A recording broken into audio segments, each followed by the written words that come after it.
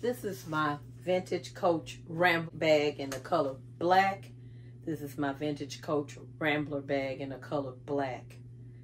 If you watch my channel, Content with Candace, you would have already seen a video. There is a video on my channel on my vintage Coach Rambler bag in the color brown. And you will see in more details what fits in the bag. But I just wanted to share on today my vintage Coach Rambler bag in the color black. Uh, there is just something unique about the vintage Coach leather. Just going to give you a sneak peek on the inside. Uh, the only difference, I'm basically carrying the same things with the exception of I changed into this uh, card case which holds my cards and my cash. It is a very unique card case. I love these card cases.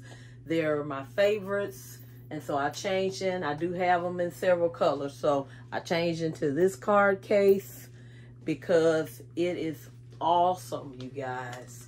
I have this little card case in there. But I also have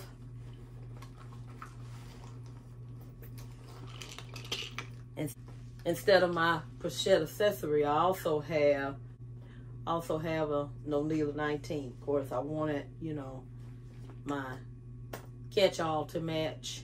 And I just keep this flat and tuck it under when I'm sticking it in my bag just to, you know, for, just to make things a little more neater while they're in the bag.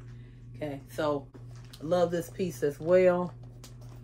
So I wanted everything to kind of match with my current bag I'm carrying. I love the vintage Coach leather. I love the vintage Coach leather. It is amazing. It's unlike any other leather that I've seen even today. Um, I it, it just impresses me so because you know you can dunk and clean it and condition it and it looks as though it looks brand new once you take it through all that process now you can't try that with a bag today this bag will definitely forever stay in my collection and like I said on my video go ahead and go watch my video on the vintage Coach Rambler bag. On my channel in the color brown, you'll get more details about what fits and what's on the inside. Thank you for watching. Talk to you soon. Bye-bye.